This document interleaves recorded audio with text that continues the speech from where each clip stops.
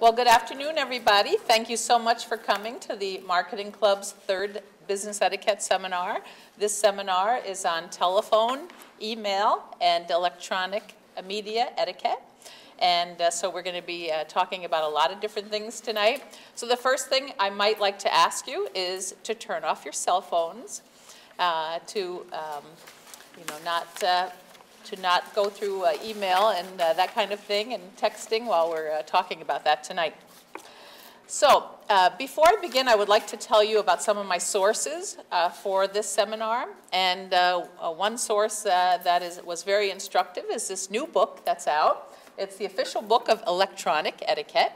but I think some of you probably are familiar with blogs and you know where better to find sources of information about etiquette related to electronic media then blogs, cellphones.org, Microsoft Small Business, but also there is a gentleman by the name of Eric Brantner, Jennifer Mattern, and Chris Brogan, who all have some very good websites on uh, all this electronic media etiquette. So, uh, if, and if you would like more information, you can certainly check out those websites. So what I'm going to do is start talking first about telephone etiquette.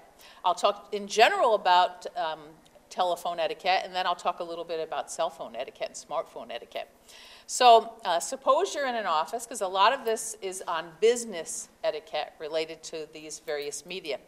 Uh, so uh, we're going to first talk about uh, the telephones in the office. So as marketing people or business people, if uh, your phone rings in the office, uh, you don't want to sit and finish what you're doing. Um, you want to answer by the second ring. Um, it shows you're eager uh, to help people, that you are eager to talk with people. So um, that is a good practice and a goal to set for yourself. Don't have the facial expressions and body language that you would like to have to be able to read other people. So you need to compensate when you're on the phone with your, with your voice to express yourself. So your voice modulation, your pitch, your rate of talking can tell people how enthusiastic you are, how eager you are to help them, uh, you know, how uh, pleased you are with their call. All right, so now you're going to be phoning someone, and uh, so the, they answer the phone, hello, my, uh, you know, at the one end they say hello, and you say, well, um, is so-and-so there? All right, so the first thing really in telephone etiquette is that you have to identify yourself. So yes, my name is so-and-so, and I'm with this company, and I would uh, like to speak with uh, so-and-so, please. Uh, so identify yourself when calling, but also when answering. So if your phone rings at your desk at work, you know, you pick it up, you say, good afternoon, my name is, or this is, and this in, the, in a certain department that you're in. Uh, so, and um, the reason why you would say good afternoon or uh, thank you for calling, my name is, it gives people a chance to get ready to hear your name. So that little bit of a prelude to your name is very important so people will pay attention to that. Uh, so suppose you're phoning someone and uh, they answer and you've gone through all the introductions. Um, the, a nice thing to do, good etiquette, is to ask people if this is a good time to talk to, uh, to call them. And if not, you ask them if it's a more convenient time. So that's a very thoughtful thing to do. And you may find that when you've called someone, they're in the middle of something. So it's a, you know, it's a very nice thing to do when you're calling other people. All right, so if you call a wrong number, should you just hang up? No, especially with everybody having caller ID now, you may get a call back from them. So they answer, you realize it's a wrong number, you need to apologize, sorry, I have the wrong number. Um, and you know, maybe you have the wrong number and you don't have a correct number. So sometimes it's best to ask what number you dialed if they'll tell you that. Or ask them, you read the number you called and ask them if that is the number you actually dialed. So you can figure out whether you have a wrong number or not. Uh, so, answering machine, voicemail or taking messages etiquette.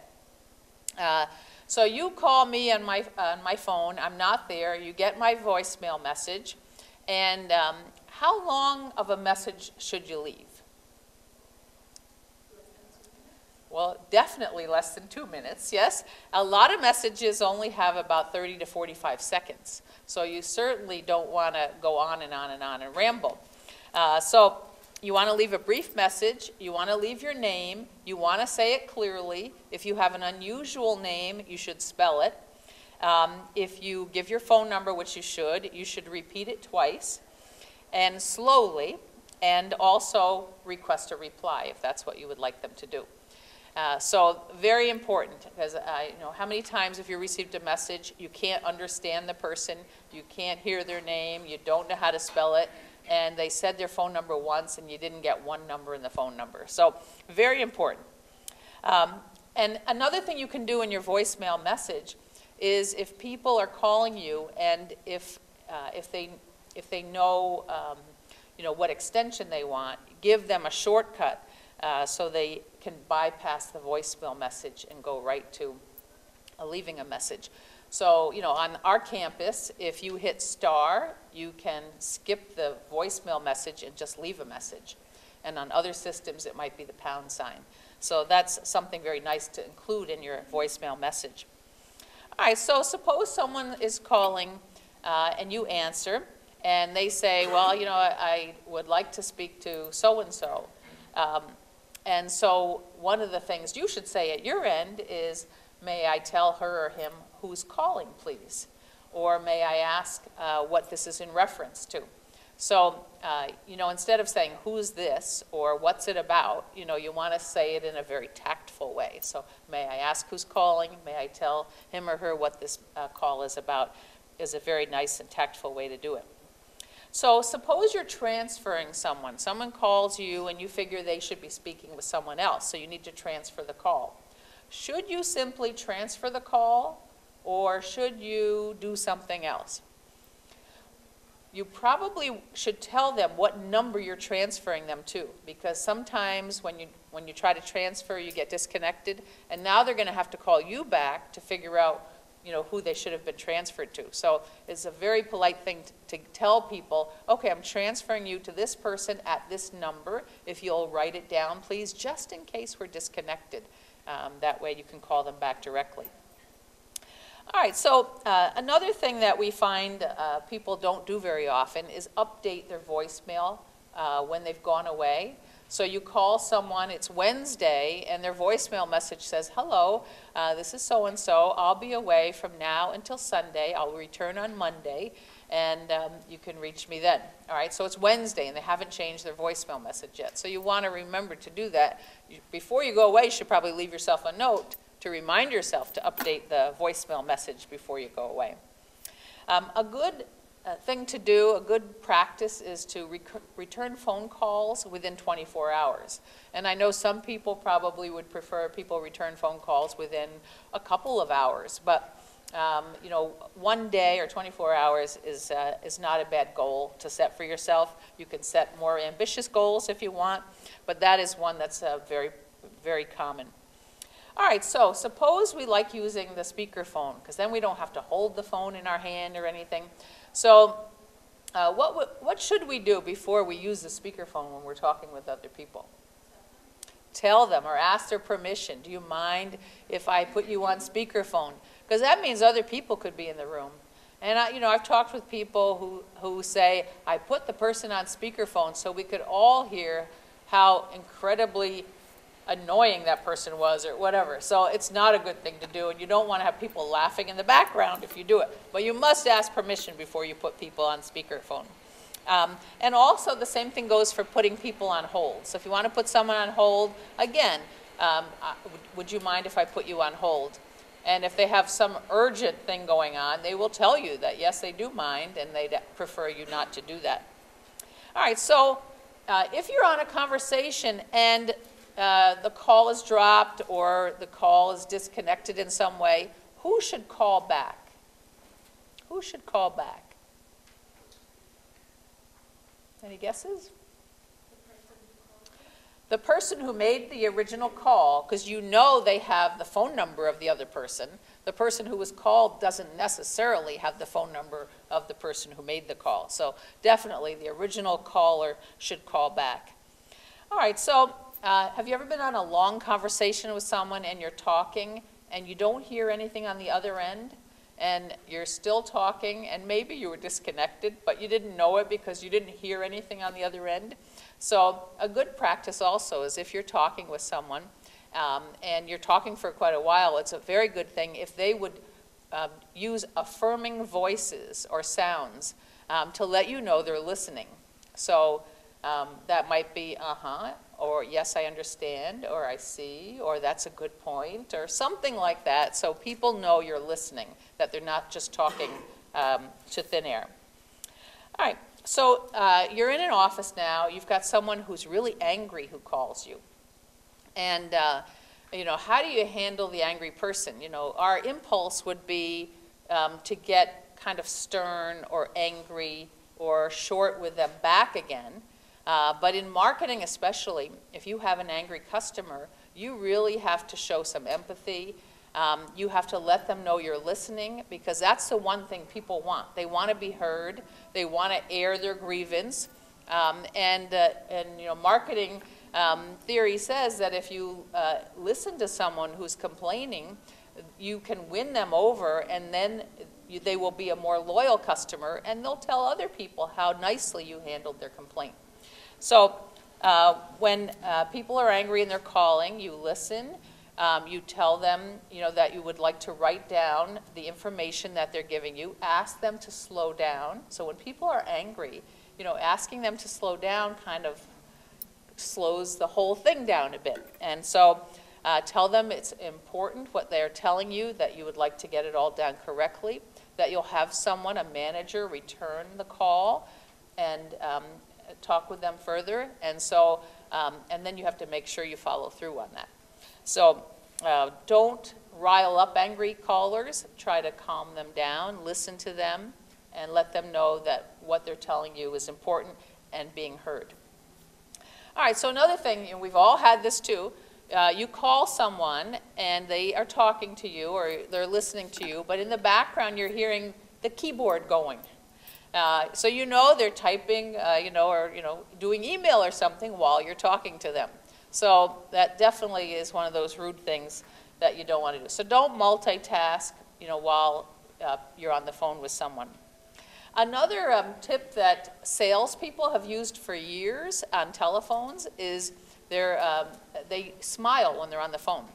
And sometimes they stand up when they're on the phone because you have more energy when you stand up. But when you smile, um, you have a different frame of mind, and it comes through in the phone call uh, very clearly. So, um, so smiling is a good way to project, uh, you know, a, a nice um, uh, personality, to, personality to the person on the other end of the phone.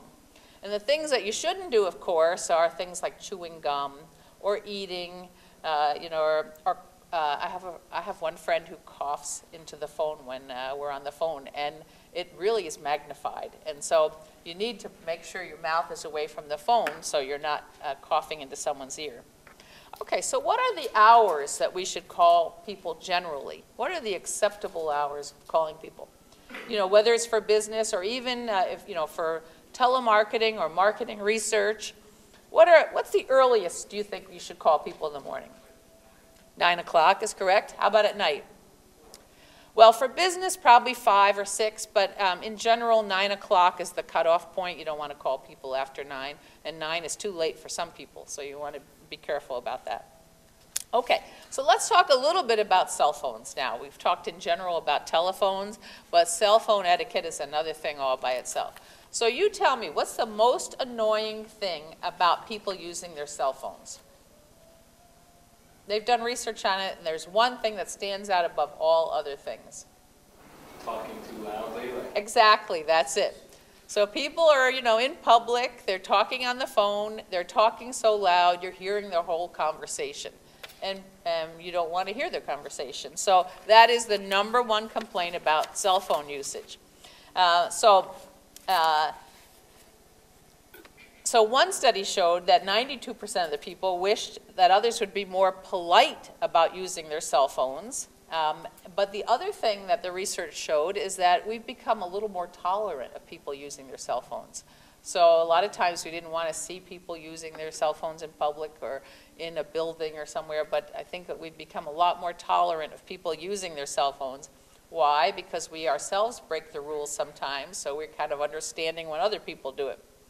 All right, so there's a, there is a amount of space that you may want to have around you when you're using your cell phone. Can you think how many feet it might be would be a good safe distance from other people when you're using your cell phone so people can't hear everything you're saying? How many feet? 10 feet. 10 feet. Uh, so 10 feet, the 10-foot proximity rule is what it's been called. And uh, so that's a, a, good distance to be uh, away from other people at. So, you know, why do people talk loud on the cell phone? Do they think they're not going to pick up their voice? Well, one of the, the uh, tips that one expert gave was that if you turn your cell phone volume for you to be able to hear other people, if you turn it all the way up, then you can hear clearly, and maybe you're not going to yell so loud into the cell phone yourself. Uh, so lower your, uh, your, your speaking volume, but raise the volume of incoming calls so that you don't feel like you've got a bad connection or something. Um, so you're having a, a conversation uh, with another person, and your phone rings. Uh, so what do you do? So the, the important thing is you really should avoid taking a cell phone call when you're having a face-to-face conversation with somebody else. You should also avoid texting with other people when you're having a face-to-face conversation with someone else.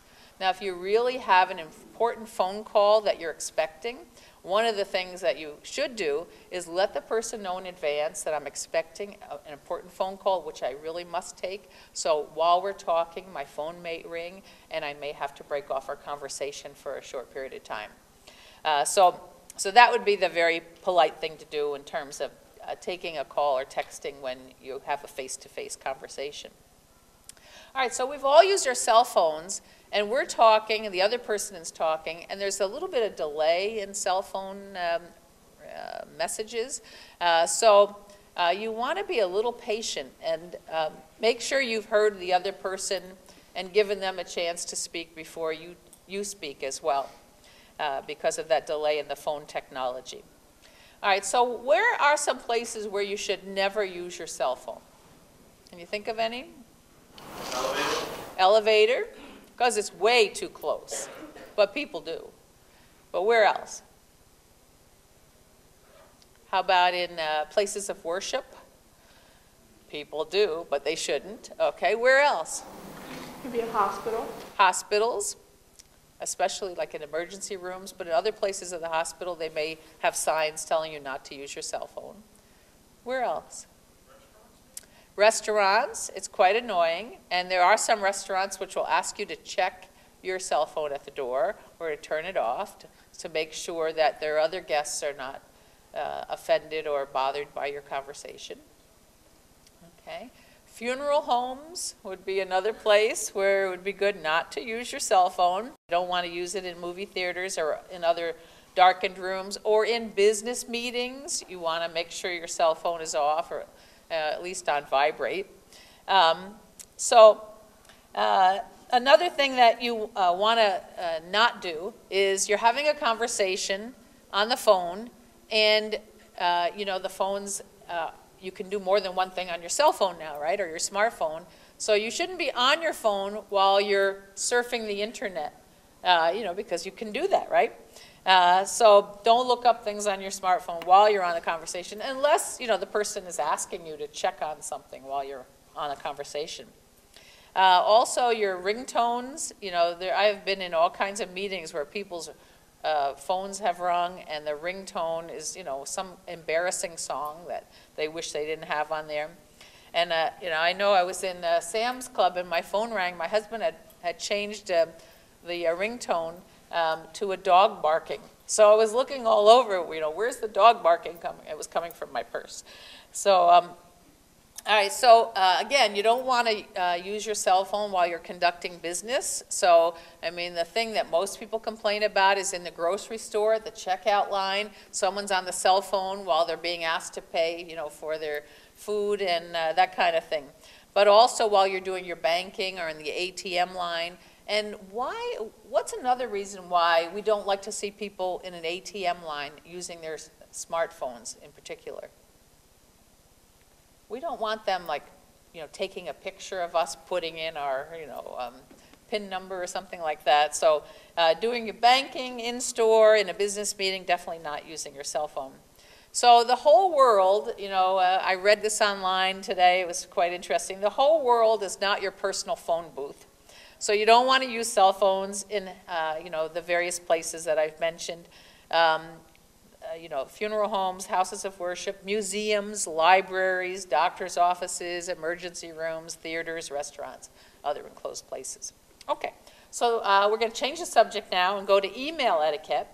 You know, I've given many over the years, I've given several um, seminars on email marketing. And a lot of the rules for email marketing are very similar to email etiquette. Uh, so the one thing everybody should know is if you're working at a job and you're doing email, your employer owns your email. So if you think it's private in your place of work, it's not. So they can always look at your email. They will get your password and they can look at your email. So you want to be very, uh, you know, circumspect about what you use email for at work. Um, so um, the other day I got this joke uh, in the, an email from somebody who works here at the college who I don't know very well. And it was a little bit of an off-color email uh, joke. And so I think what happened is uh, she may have, um, you know, my, came to me, but I think it was meant for somebody else. So when you go to your email uh, list of people directory and you're going down and you're finding someone to send to, when people have a similar name, sometimes you type in the first few letters of the name and some name pops up and you think it's the person you're sending it to and it's somebody different and they get your email and then you get a message back from them that says, I don't think you meant this to come to me. I think you might have meant it for somebody else. So be careful when you're picking up, uh, you pick the right email out of your address book. Um, when you're emailing people, you want to always make sure you've got your name and address as, uh, you know, how they can re return your email. It's best to actually use the subject line. It's a smart thing to do. So a lot of people use a, sub, you know, use a blank subject line, but I think it's much better to let people know what the subject of your email is about. So um, that's what it's for. So don't leave it blank. And then, uh, you know, there's a salutation. You know, like if you wrote a letter by hand, um, you would probably write a salutation, and that is the line where it's Dear Mary or Dear John, that kind of thing. So in an email, you know, I know we're tempted, and for your friends, if they email you, you can just email back an answer. But for business correspondence by email, you should use a salutation. So, dear so and so, you know, by their name, whatever it happens to be. Um, uh, because that's a much more polite way of starting an email message than just, you know, um, saying hey or, you know, just responding to their email. So um, use a salutation, address people by name. Okay, so here are some things, you know, texting has, uh, in some cases, kind of ruined communication between people. So in emails, you want to spell words out, you uh, want to punctuate things, which a lot of people are dropping punctuation. You want to use complete sentences, not, you know, phrases. And you want to use paragraph form. You know, all the stuff you learned in grade school about writing. So spell words out, punctuate, use complete sentences, use paragraphs. Don't use all lowercase because, you know, then you're not using proper rules of uh, punctuation. And um, and don't use all uppercase, because what's uppercase do? All capital letters. Well, eh, some people call it flaming, or, you know, so it's uh, the email equivalent of shouting. Um, and don't use too much punctuation. So too much punctuation is, you know, like 10 exclamation points in a row, or, you know, six question marks, uh, because if, especially if you use that in the subject line, it may be perceived or read by an internet service provider as, um, as spam. So you certainly don't want to be read as spam. Uh, so uh, suppose you're forwarding something. Someone has sent you this funny joke, and it's been forwarded six times. So you've got the messages from six people when they forwarded it to whoever they were forwarding to. So um, when you forward that joke for the seventh time, make sure you delete all the other forwarding messages and just forward the joke and leave all that other stuff off. It just kind of clogs up people's uh, email boxes with, um, with more volume than they need. Okay, so, um, you know, we all forward jokes. We all forward funny things and stories. Um, and so it is okay to forward jokes that have been floating around the internet. But suppose uh, someone uh, develops a, a story or something on the internet or an article on the internet that you, someone you know, um, and before you forward that to other people, you should ask their permission. So, uh, so that's a very important point. You know, you don't want to keep forwarding everything. You should ask people's permission before you forward it. Um, okay, so hijacked emails. You know, yesterday I got um, um, a message from our former dean, and I uh, looked at it, and it was um, a link to some sexy website. So um, anyway, so I, e I emailed it back, and I said, I, I think maybe your email's been hijacked. So that happens sometimes, right? Somebody kind of gets into your email and sends, you know, either business or, you know, sexy kind of emails to people on your, in your address book that, um, that you really don't want other people sending email to. So you want to report that to your internet service provider as soon as possible so that that can be taken care of. All right. So now another thing, I've been sending emails to students and I want to let them know that uh, about today's uh, seminar and also tonight's marketing club meeting. So I sent an email and I said, uh, you know, we're having this seminar today and then I put slash Tuesday so they know, you know, if they read the email tomorrow, they'll know it, it's not tomorrow, that it was today. So use care in making reference to certain days of the week in your email because people don't always read it the same day you send it. Um, and also, um, if, you're, if you do a lot of international uh, email, avoid using numbers for days and months. So, you know, here in, in the U.S., we um, tend to put the month and then the day, uh, but in uh, Canada and other places in Europe, they put the day first and then the month. So uh, you don't want to confuse people. So you can spell out the month and day. Um, all right. So some things, uh, you know, when you're emailing people, uh, sometimes when they receive it, they don't receive it in the same format as you send it. So you want to be really careful about some things. So if you try to indent, sometimes indents or tabs don't translate well on the other end. People don't get it in the same format that you sent it. Sometimes if you use some exotic fonts, not all computers can read those fonts. They might get changed to a more common uh, font. And even if you use a background, a color background, or some kind of patterned background. Sometimes they don't uh, translate well uh, when uh, they are received on the other end. Um, so uh, attachments, uh, you know, if, if someone sends you an email with an attachment, um, when you're sending it to other people, you should ask uh, their permission to send, send something with an attachment. And you say, well, why would I do that? Well, the thing is, a lot of times we get emails with attachments and we're afraid to open them because we're not sure what's in the attachment. So by getting their permission in advance, they will tend to understand that it's probably a safe attachment to open up.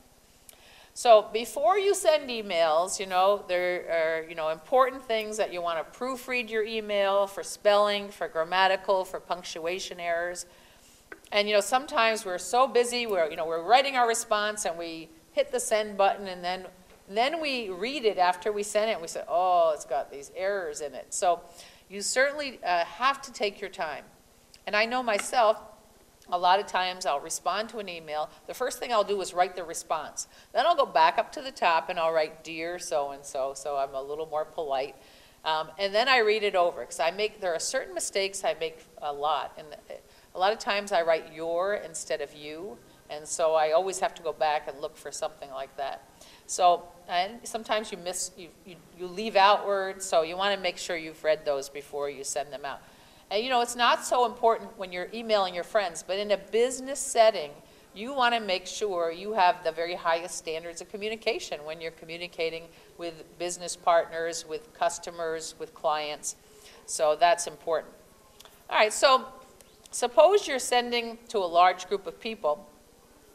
Uh, And so instead of having 30 names in the to, on the to line where everybody can see everybody else's email address, what should we use instead of every, putting everybody's email on the to line?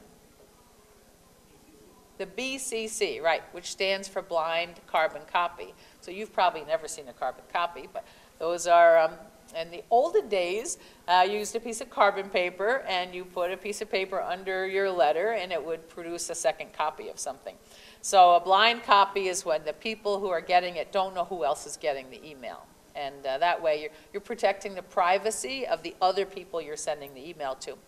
It also can sometimes fool um, internet providers because, uh, you know, if you are sending to a big group of people, like 30 or 40 people, um, on the other end, the internet service provider may perceive you to be a spammer and uh, because they can see all these emails. But sometimes if you send it as a blind carbon copy with all, everybody's emails there, then it may not be perceived as a, a spam. So that's a very good thing uh, to use. So uh, you know with email you can uh, program in your signature, right? So you can, so you don't have to keep writing, you know, your your name and uh, you know the company you work for, your position title, your phone number, your email, your fax number, um, and uh, you know a tagline or whatever. So um, you can program in those signatures so you don't have to keep writing it, uh, but you don't want it too long. I have a great friend, but he has a signature that's about this long at the end of his emails. So he's got like 10 different quotes, and uh, you know it goes on and on. So that's too long, really. Um, you know, one quote would be nice, and it would be even nicer if you change it now and then, so people get a little variety when they get a message from you. Um, and the best advice is about when you get an email that makes you angry or uh, just upset with someone, uh, you should always wait to respond. Uh, so don't even write a response until maybe the next day and then you write your response, and then you wait a little longer and read it over. Let somebody else read it over. And the best thing that you might do is just delete it entirely and deal with that person maybe face to face and uh, in a different way. Okay, so the last topic for today is uh, the social media and blogging etiquette. And so uh, this is where I see a lot of problems uh, for the future of people. Um, you know, it's kind of like, right, you're a student, and you know, uh, you know, this, a student's life is different from somebody out in the workplace. Uh, but you do want to make sure uh, that it uh, doesn't create embarrassing situations for you in the future. So, well, first of all, you want to keep your profile updated. Um, and whether, no matter what kind of social media it is, you want to make sure that you're adding value to whatever conversation you're participating in. And uh, if you stay positive, um, then you really can't go wrong. You know, uh, I, I remember there was a, a faculty member in the school of business. What a nice person. He never said a bad thing about anybody. He was just so calm and pleasant, always smiling. Everybody loved him, and he never got in any trouble at all. Uh, but you know, there are other people, you know, who speak up, and uh, there's nothing wrong with that either. But you know, by staying positive, uh, you'll you'll tend to uh, be perceived a lot more positively. Okay, so easy on the updates in terms of your Facebook page or your Twitter or whatever. People don't care about every meal you eat uh, or everything you do every minute of the day. Right? so you know, take it easy. We don't have to hear from you know your friends, you know, every half an hour on the hour. Um, now, the the one of the most important things is about the pictures that our people are putting up on Facebook and on other um, sites. So you don't want to put pictures or videos on YouTube that you'll be ashamed of later. So you're going to say, okay, well, you know, I can take it down. I can, you know, always remove it from my website. But what about the people who've already downloaded it onto their hard drive? And you're running for office someday, and uh, someone pulls out this video that you did 10 years ago, in an embarrassing situation, you always have to think about, would I like to see this on the front page of the newspaper? Or would I like to see this on the 6 o'clock news? Because if you would not, you, you really should not post it on, on your uh, Facebook page or uh, on a blog. So um, photos that you put up should really strengthen your image. And I know there's Facebook, which is more social, and then there's LinkedIn, which is much more professional. Um, but uh, you still have to think about it even with Facebook. You know, I have a, a dear former student who is back in his home country, and he writes all the time about how he's going out and drinking and getting drunk and doing this and that. And I said, you know, you really shouldn't be putting this on Facebook, you know, especially if, you know, you want a good job. Uh, you know, somebody sees this, you're in trouble. And in the news recently, there was a teacher, you know, who uh, you know, had a Facebook picture. She was having a drink. And, uh, you know, really they asked for a resignation. And um, it's a really sad situation when that happens. So any uh, status updates you do on your page should be very professional. Um, you also don't want to post questionable photos of other people on your pages uh, without their permission. So uh, yeah, it's uh, very important that you, uh, you know, not embarrass other people as well. And you know, you want to try to use a good picture on your Facebook page. Um, some people use avatars. Some people, you know, use pictures from when they were 10 years old. Um, but, you know, try to use a, a picture that is a, a, decent picture of yourself. Um, you also, on, the, uh, on Facebook or other uh, social networking websites shouldn't badmouth individual people or your current employer or your past employers uh, because um, you know people don't want to read about that either and it can get you in a little bit of hot water. You know, um, sometimes you think you've, you've uh, put privacy or you've, uh, you've only allowed certain people to access your Facebook page but sometimes people don't understand it and anybody can access it and then they're very embarrassed by who's been able to see what on their Facebook page. So the one thing, you know, I would say about social media online is the same um, courtesies that you provide to people in face-to-face -face situations uh, should be also done online. Sometimes the fact that it's a little more anonymous online gives people a little more courage to be bold and rude and obnoxious, and you, you certainly don't want to do that. So uh, the same social skills that are helpful in face-to-face -face relationships are also valuable in the social media. Uh, one last thing about uh, general social media, and that is uh, there are social media stalkers who, um, if, uh, if somebody they are interested in is on uh, you know, three different social media sites and on other um, sites that they follow them and all the different areas that they're on. And um, so that is, I wouldn't recommend that. Okay, so regarding uh, blogging and Facebook and MySpace, that kind of thing, um, the experts all say you want to give more than you receive. And um, in terms of blogging or you know writing things on Facebook about other people. They say you want to say nice things about other people or promote other people more than yourself. A lot of people use Facebook uh, or uh, blogs or um, Twitter to promote themselves, their businesses, their, you know, whatever they're in. Um, and uh, the experts are saying you should use a 12 to 1 ratio. Save, say 12 nice things about other people while you're promoting yourself one time.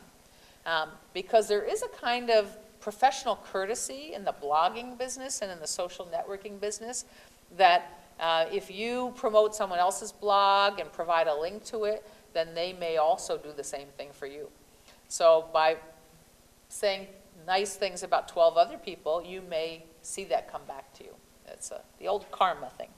Um, Another thing about social networking is that it's social. And so, but there are people who use social networks as their like one-on-one -on -one kind of communication uh, venue. So you don't want to keep everything private. Um, you don't want to just email, you know, direct to one person all the time. You don't want to just text to one person all the time. You don't want to instant message with, you know, individuals one at a time. Social networking is for social networking, which means you're reaching more than one person at the same time. Now, suppose uh, you know, you're on your Facebook page and uh, it's your birthday today, right? So what happens on your birthday on Facebook? You know, if your birth, birthday's posted and everybody knows it, and now you're going to get 20 messages from people wishing you a happy birthday. So the question is, do you have to respond to all 20 people individually? So there's a, a, you know, a comment by one person wishing you a happy birthday. Do you have to say thank you? And then another one posts, do you have to say thank you? What do you think? No, you don't have to. Um, so, uh, you know, you can do kind of a group thank you after a couple days, you know, and thank everybody all at once. But it's not necessary to respond to every comment on your Facebook page and thank them or, you know, whatever. Um, so if you're talking about, you know, an expert in your blog post, um, you, and if you provide a link to that expert, that's often a very nice thing for you to do. And if you refer to them as an, you know, an expert uh, blogger on this topic, it's even a nicer thing to do. Um, now, uh, you know a lot of blogs usually have a, a, button for sharing, for tweeting, for liking, for stumbling, you know, whatever.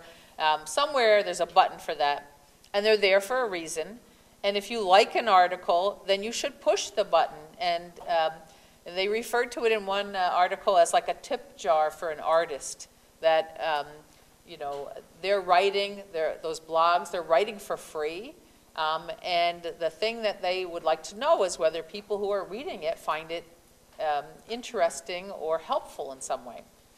Uh, so uh, one, uh, we read about some of the uses that people make of blogs, and sometimes uh, you'll hear a discussion about something. And um, uh, so, first thing, it's not good to go after a competitor and um, try to get them banned from a site or say nasty things about competitors on a blog. Um, you can respond to their content, but it's not good to go after them in a stealth fashion. It's also not good to create multiple names or handles or accounts. So it looks like different people are either promoting some cause or speaking negatively about some company or product. So, um, and that happened, I think, um, I think it was Whole Foods that actually um, had anonymous people who worked for the company were were making statements on blogs about Whole Foods that were, you know, positive statements. So, you know, if you're going to make positive statements, you know, don't pretend you're customers or somebody else. You know, make it, you know, with your name uh, underneath there. Now on Facebook, you know you can poke people, right? And one of the websites I visited said, if you're over the age of 16, don't poke people. Um, and also, um, they said to go easy on tagging people in photos as well. But you can untag yourself. So if someone's tagged you in a photo, you can actually go online and untag yourself, but then it's permanent. And um, uh, and one, I didn't haven't talked much about texting, but it's the same kind of rules as using your cell phone. But um, how quickly do you have to respond to a text message? Uh, well, there is no rule for how quickly you have to respond. Um, and so uh, generally, texting is for more urgent messages and uh, you know, so that's up to the sender and the receiver. And the last little bit that I'll talk about briefly is I, on the use of Twitter. How many of you have Twitter accounts? It's not as popular as Facebook, but uh, it is good for some uses. And um, you know, one of the things it's it's like a group text, right? You can text a whole group all at the same time. So the thing is, you want to make your texts on um, your tweets, I'm sorry, comprehensible. So you don't want to use a lot of the text uh, abbreviations that everybody may not understand. So you want to avoid that text speak so that people you know, will understand your tweets. Um, I know there's a thing where a lot of people will follow people on Twitter if um, they follow them. And I guess uh, there's a current thing that uh, some people will unfollow people if the people will not follow them back. So that doesn't seem to be very productive. If you want to uh, retweet something interesting, you should give credit to the originator of the tweet. Um, you know how many characters in a tweet, maximum? 140, right? So if, uh, if you do a tweet that's 140 characters and people want to retweet it to other people, there won't be enough room. So you want to have a tweet that's less than 140 characters so when people retweet it to other people, the whole message will be tweeted to, to their group. Um, It's also okay on Twitter to follow your competitors, and they can follow you on Twitter as well. Um, And it's also okay to share a link. Um, It's not okay to encourage people to gang up on someone or uh, to incite what they call a social media mob. Uh, And um, Twitters are, when you post on Twitter, they're public, unlike Facebook, where you can have privacy and only send your Facebook messages or posts to certain people. On Twitter, it's public, so you have to be a, a little more careful when you're uh, sending messages out. So that is my presentation today on all the electronic media. Are there any questions? Well, thank you very much for coming today. I'll mention that next uh, Wednesday, we will have seminar number four, and it'll be on uh, interview and office etiquette. It's one of our graduates, Renee Dahl, who is a recruiter for Fletcher Allen Hospital in Burlington, and she'll have some great stories to tell you. So I hope you'll join us next week. Thanks for joining us, and we hope you'll have some refreshments before you leave. Thanks very much.